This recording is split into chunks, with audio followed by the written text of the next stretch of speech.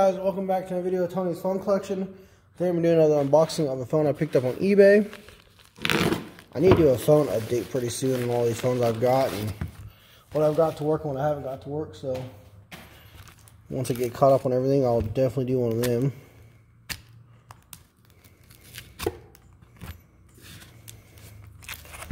Definitely packed this one pretty good, it looks like.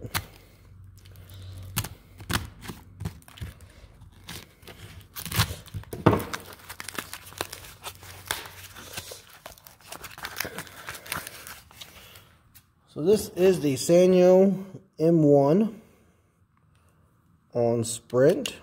And I already have one of these, but I did not have a battery. So hopefully the battery in this is good and I can able to get mine to possibly work.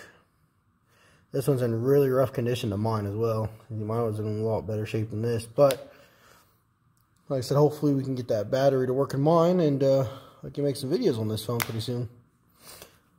Yep, hope you guys enjoyed the video, and stay tuned for the next one.